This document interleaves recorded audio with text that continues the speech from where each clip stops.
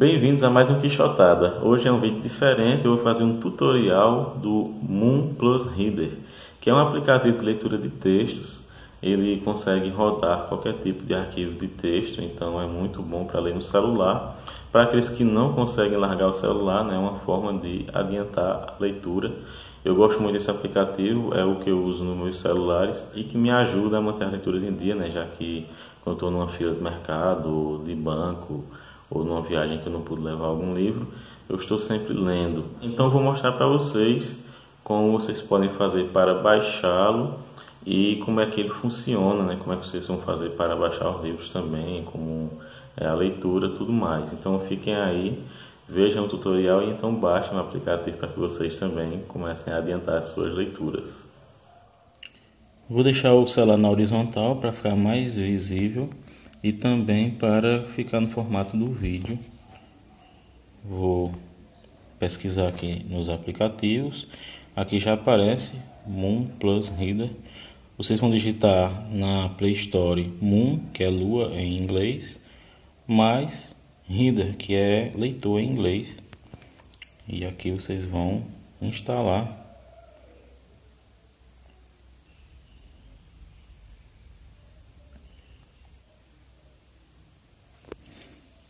Concluída a instalação, abrir. Você vai dar permissão para ele acessar memória do celular. Ele vai oferecer a versão Pro, que é a versão paga. Como eu sou pobre, eu uso a gratuita. Aqui vai ter a lista recente, minha estante, meus arquivos, biblioteca, marcadores. Aqui as opções você vai ter, por exemplo, a opção de tema noturno. Aqui também você pode escolher a estante que você quer. Eu escolho com a fundo de madeira, né, que é bonito. Você pode exibir o progresso de leitura na capa, ou seja, o percentual que você já leu quando aparecer a capa do livro. E importar novos livros da pasta principal automaticamente. A pasta principal, no caso aqui, está a do cartão de memória, mas eu não tenho cartão de memória no celular aqui. Então posso alterar se eu quiser.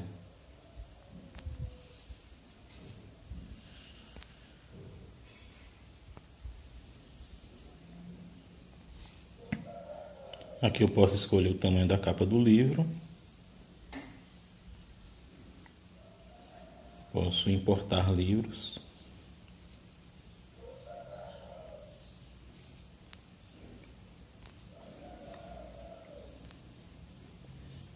mostrar o botão flutuante continuar lendo.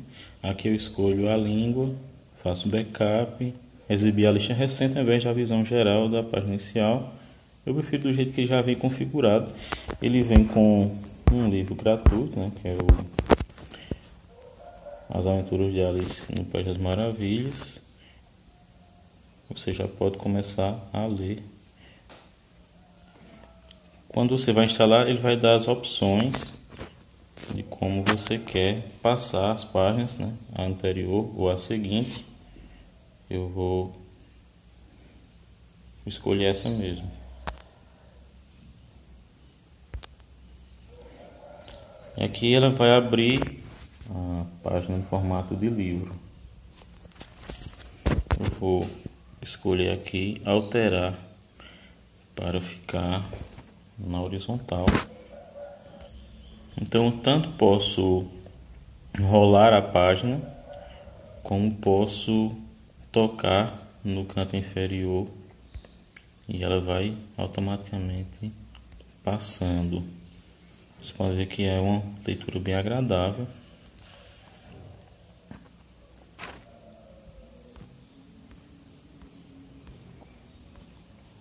As informações do arquivo e ele afirma inclusive o tempo que falta para terminar o capítulo e o tempo para terminar o livro. Eu clico na tela e volta. Então eu vou mostrar para vocês aqui no tema noturno como fica. fica o fundo preto e a fonte branca. Aqui eu posso optar por rolar automaticamente. Mas eu não gosto dessa funcionalidade. Ela é uma funcionalidade que faz com que você acabe lendo mais rápido. Vou mostrar para vocês só como funciona.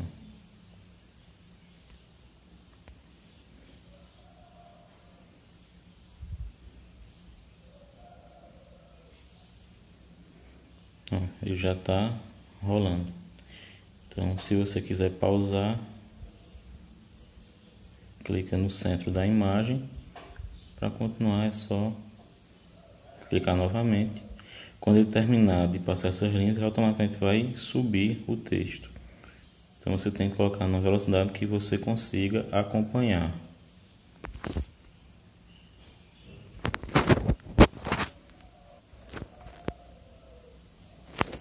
Clicando no centro da página, você também consegue pesquisar, que você pode procurar alguma informação.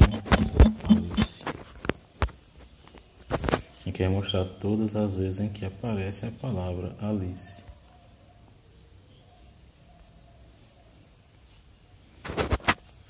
Você pode acessar o índice Digamos que eu quero ir para o conselho de uma lagarta. Eu já estou lá. Aqui novamente eu vou colocar o tema diurno. E eu vou sair do Alice aqui. Quando você vai sair, você pode escolher voltar para um ponto ali onde você estava anteriormente ou sair e deixar nesse ponto aqui. Esse aqui é o menu principal, né, que vai ter o acesso ao livro. No caso, só tem esse livro aqui porque eu apaguei o meu aplicativo para poder instalar e mostrar para vocês. Eu posso acessar meus arquivos se eu tiver no Dropbox, no WebDAV, no cartão de memória, na própria pasta do Moonreader e no armazenamento do celular. E aqui temos a biblioteca. A biblioteca é um acesso que você vai ter por internet a vários repositórios de livros na internet. Tem aqui o projeto Gutenberg, que é um projeto pioneiro na digitalização de livros. Aqui eu posso acessar os mais recentes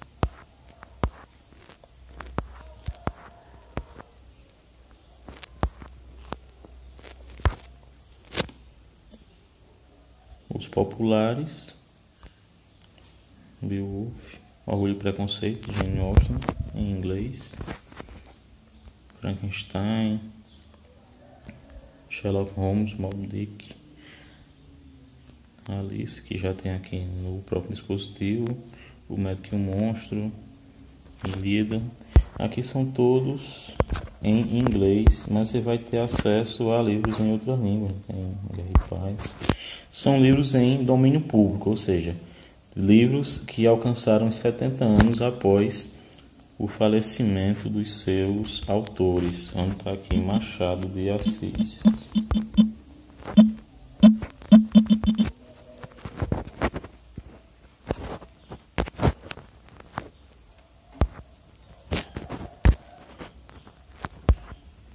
Aqui vai ter ó, Dom Casmurro em português, contos brasileiros, com vários autores. Memórias Póstumas do Brás Cubas, também em português, você pode ver que é a grafia da obra original. Quincas Borro, Papéis Avulsos, Amor e a Luva.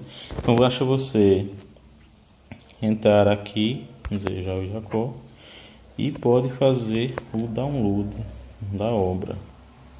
Download.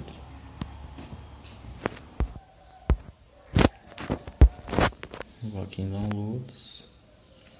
Vou abrir aqui. Recente. A família brasileira. São as obras do autor. Quem que é o capítulo primeiro. Então, eu já posso ler aqui a obra do Machado. Aqui em biblioteca também além do projeto Gutenberg, vai ter o Feedbooks. O Feedbooks pega muitos livros do próprio projeto Gutenberg, que você pode acessar o de não ficção, por exemplo. E pega também livros de autores que não morreram ainda, mas que liberam seus livros para que sejam lidos. Você vai ter aqui, por exemplo, Virginia Woolf, Nicolau Maquiavel, Charlotte Perkins Gilman, que eu não conheço, não li ainda nada dela, Adam Smith, né, a origem, da riqueza das nações, o Código de Hammurabi. Mas se você for procurar também, vai haver alguns autores modernos. Eu já li aqui alguns livros do Bertrand Russell, por exemplo, baixando daqui. É bem completo esse catálogo e é mais amigável do que do projeto Gutenberg. Eu gosto mais de procurar aqui na Feedbooks. Tem aqui esse webnovel.com, mais voltado para o público que gosta de fantasia, fantasia adolescente principalmente. Eu nunca baixei nada deles não, entrei só para dar uma olhada. Mas se vocês tiverem interesse, eles têm inclusive um próprio aplicativo. E o Moon Plus Catálogos é muito bom isso aqui. Ele vai mostrar outras plataformas que também oferecem catálogos de livros, inclusive em russo, chinês, francês, japonês. Um site que é muito bom isso aqui, Library Genesis. Vou mostrar aqui para vocês. Ele tem várias opções. Eu vou colocar novamente aqui o Machado de Assis. Vou escolher aqui autor.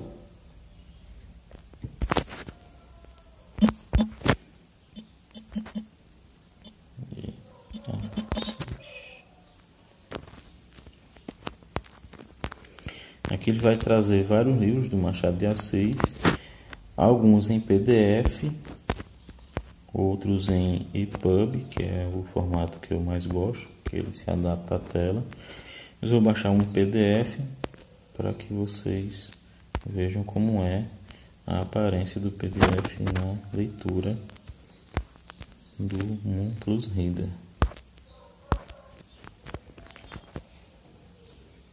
Download, ok. Abrir. Aqui é o formato PDF. Vocês vão ver que dá para ler numa boa você pode também optar por aumentar ou diminuir.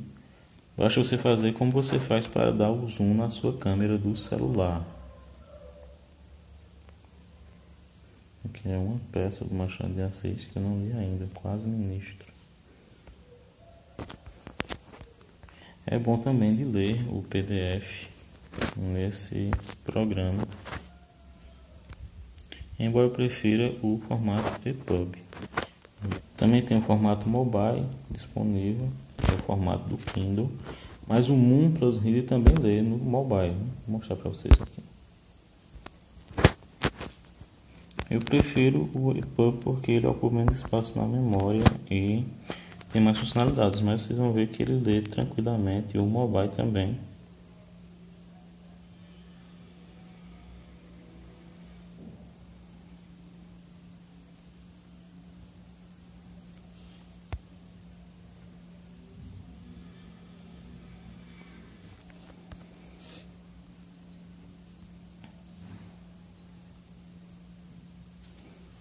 Abre o índice, você pode escolher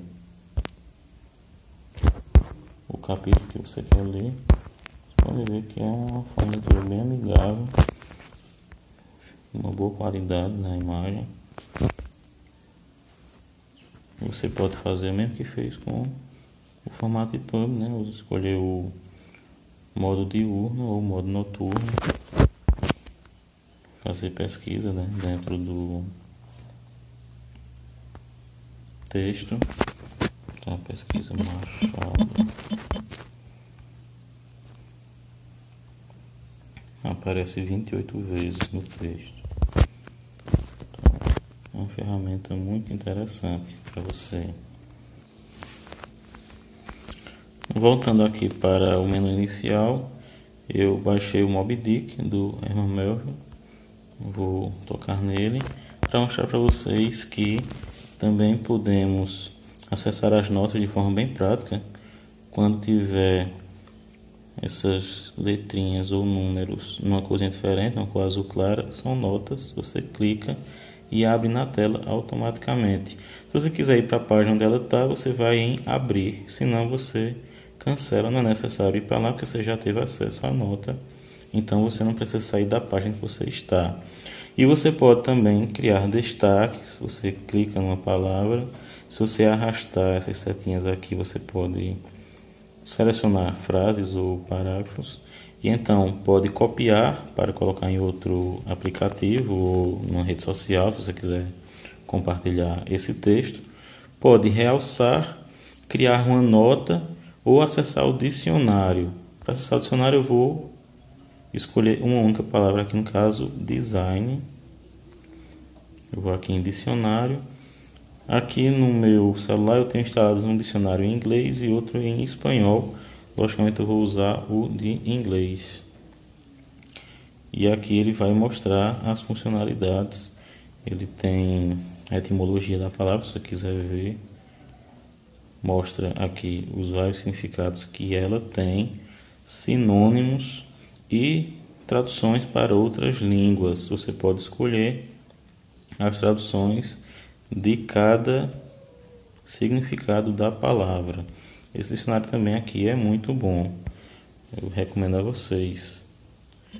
Você pode baixar dicionários de várias línguas e todos eles vão ficar vinculados ao aplicativo. Então, você está lendo um livro em italiano e tem um dicionário em italiano, você pode acessar. E assim sucessivamente. Vocês vão ter acesso a informações na Wikipedia, no Google, a dicionários que estejam instalados no seu computador ou dicionários inclusive online, desde que estejam com acesso à internet.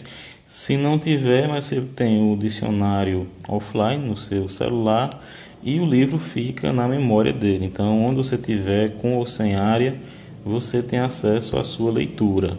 É uma ferramenta muito boa mesmo para você colocar em dia sua leitura.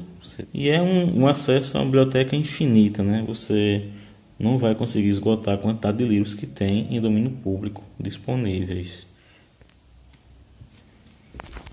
Você vai acessar aqui a lista recente, os favoritos, se você selecionar os livros, os seus arquivos, a biblioteca, esse ícone que tem de um livrozinho aberto aqui no canto inferior direito é para você acessar automaticamente o último livro que você abriu na página que você fechou.